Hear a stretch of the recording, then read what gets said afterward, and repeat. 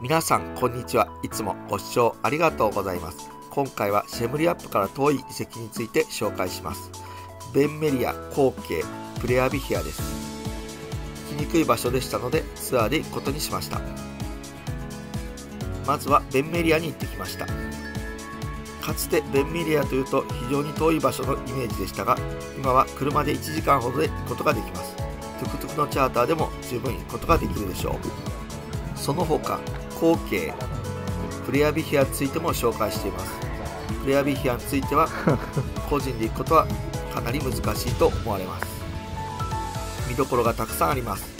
是非最後までご覧ください